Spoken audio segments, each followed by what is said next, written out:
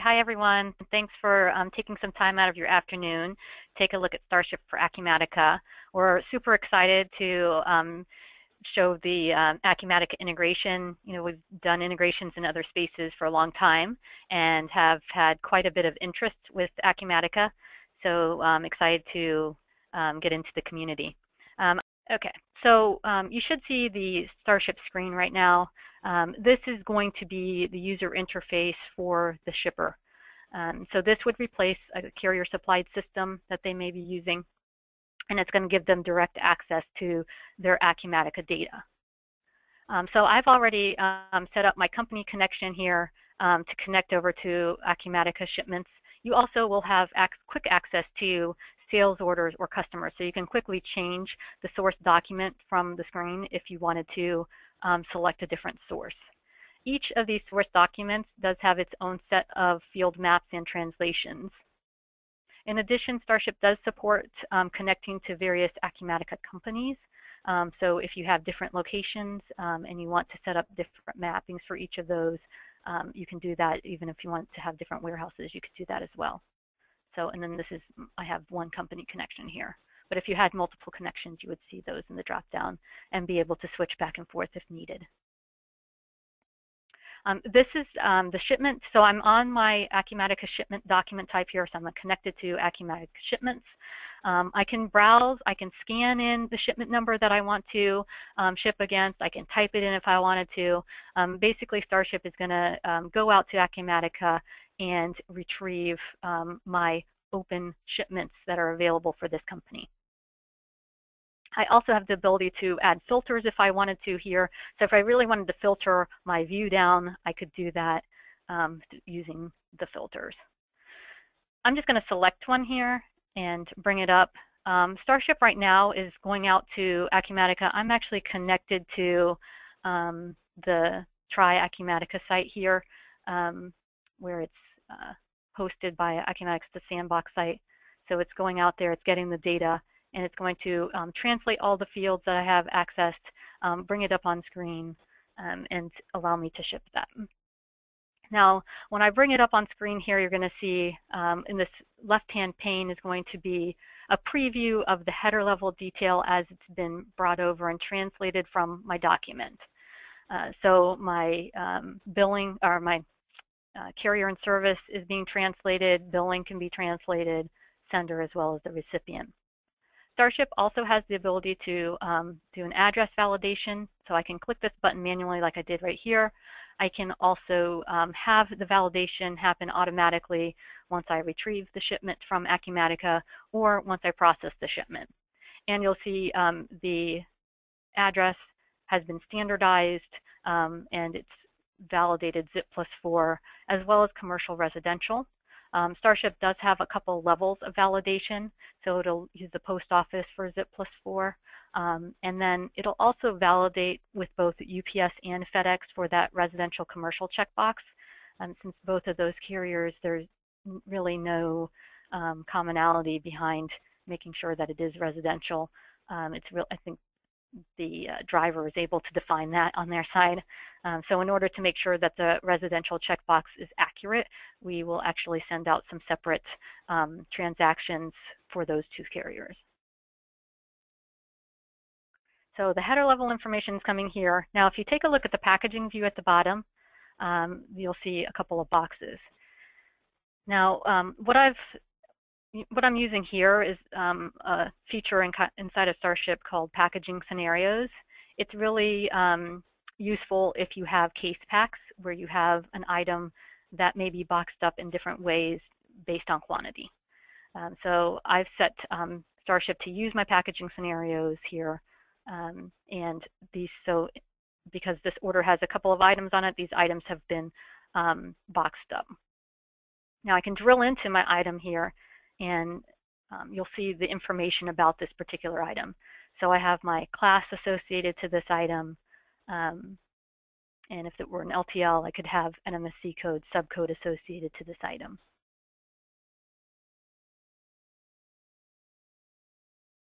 Um, so in addition to um, packaging it up, now if I go back into my package view here, you'll notice that I have my dimensions. This is really important, especially with all the changes that the carriers are putting in, in place um, with regards to dimensional weight and the cost. So you'll see here that I might have an actual weight of 8.5, um, but my build weight is going to be 9, which is just around.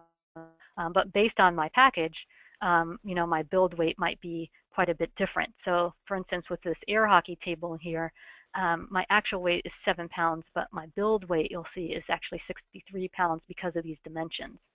So um, having the packaging inside of Starship um, really can help you make sure that you're getting um, accurate rates that are being calculated and going back into Acumatica, um, or accurate rates that you're using to determine carrier and service. So speaking of rates, I'm going to just run a rate shop here. So I can click on this little rate shop um, icon at the top of my menu bar. Um, Starship will go out to the various carriers that I have loaded in the system and it'll request um, rates. Now, um, Starship is in real time requesting rates for your particular accounts. So if you have negotiated rates with the carriers, you will see those. Um, if you've negotiated volume-based discounts, those will also come through. So you're looking at the most accurate rate to get your packages out the door. Now, um, when I brought this over, this, this shipment originally um, got translated as UPS ground, um, but I ran this rate shop here, and you can see that I can go priority mail and get it there um, several days earlier and pay half as much. So maybe I want to select post office priority here. Um, Starship can also, as I mentioned earlier, um, you can use the ship via rules to automate this process that I'm just showing you manually here to pick priority mail um, in this instance. So I'm going to go ahead and select priority mail. Um, I'm going to do my ship in process here. I could also click F5 and it'll um, Starship will process it. Now I'm getting a little um, message here it's just saying I have a low postage balance. So um, Starship's actually with the post office, uh, your postage that's getting printed on your label is live um, currency. So I've got to add some postage here. Starship will allow you to add the postage. I can add, you know, $100 here and or whatever I want to. And now I have enough to actually complete my ship transaction, which is going to cost me $33.90 here. So once Starship um, processes the shipment with the post office, it's going to then generate my barcoded shipping labels. It's going to write back to Acumatica in real time. This is an example of um, a label that's going to be printed. This is what we call our smart label. It's a combination um, shipping label plus packing list on 8.5 by 11. And then this area here is kind of a die cut uh, Starship also supports printing these labels to a thermal label printer.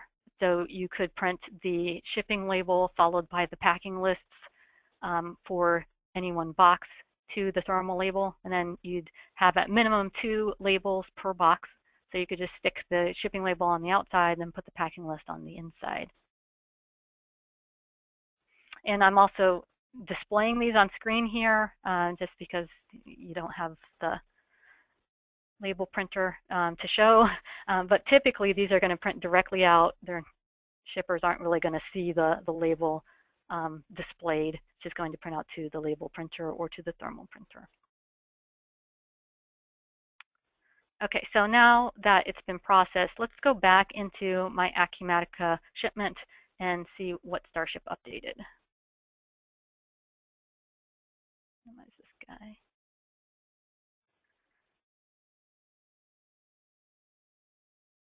So if I go into this shipment 846 here, um, couple things. You'll see my packages have been updated. So here are my two boxes um, with tracking information. Um, Starship does have reverse value translations. So the first time you process a shipment, if um, the translation for unit of measure or box ID isn't um, defined, Starship will give you the ability to define it. It'll remember it, so the next time around it'll just automatically update it for you. My shipping settings, my ship via is going to be updated with the right ship via based on your translation. and my freight cost and freight amounts can get updated. Now the freight amount um, is going to or can include a customizable handling fee using freight rules, sorry. So freight rules, like I mentioned earlier, is just a way for you to define how the freight is calculated. And in the freight cost field, this is going to be then the cost of the actual postage. So you'll be able to see and run reports on that through Acumatica. In addition to that, um, Starship can update the notes here. And this is all user definable as far as what you want to see in your note field. It's just going to give you the ability to put some added detail here um, so that you can update that. You can also update um, the status to confirmed if you wanted to, and that's another thing that you can update. And then the shipment date can also get updated.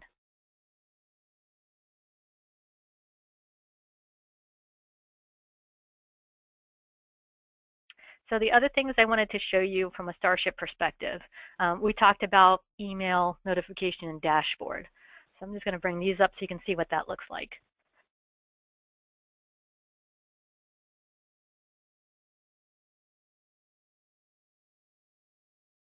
Let me log in here.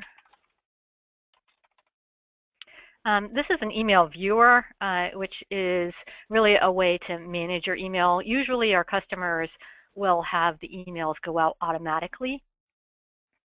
But since this is a sample, I really don't want to do that. Uh, so I'm just going to go in my email viewer and take a look at the email that was generated as a result of that shipment. So a couple things here. Um, the email address that it's sending to um, it, it can be mapped in from Acumatica and can be defined then.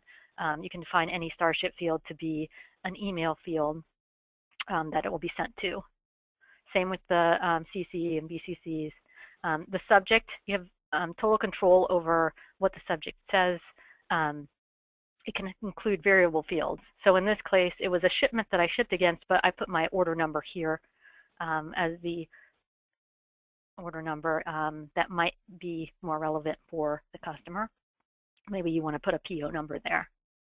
And then in the body of my email, then I have my logo, um, as well as all the tracking information. Um, and what's nice about this is we can include the item level detail um, for this shipment so that your customers can know exactly what was ordered and what was shipped and included in this particular shipment. Now you'll notice here that my air hockey table quantity shipped is one. Um, so Starship brought in the quantity shipped um, from that shipment that was defined already in Acumatica. And then you can put um, links to your website, um, promotional codes, and then the tracking numbers will automatically be linked to um, the carrier so that your customers can go directly back to the carrier to track it.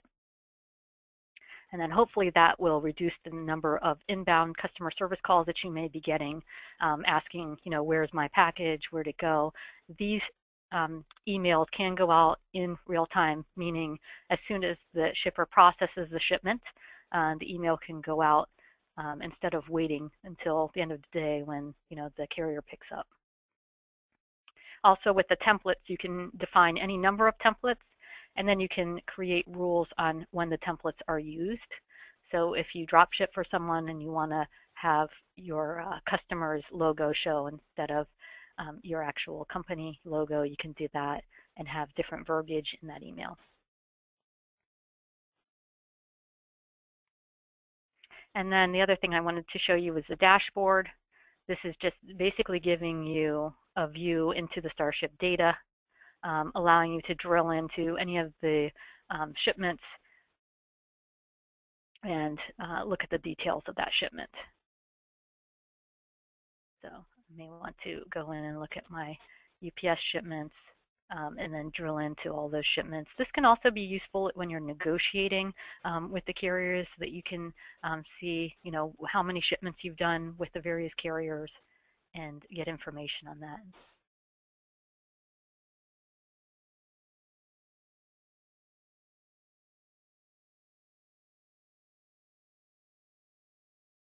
Okay, um, I think that's all I had for the demo. maybe what we should do now is take it back to Kathy, and you can let me know, Kathy,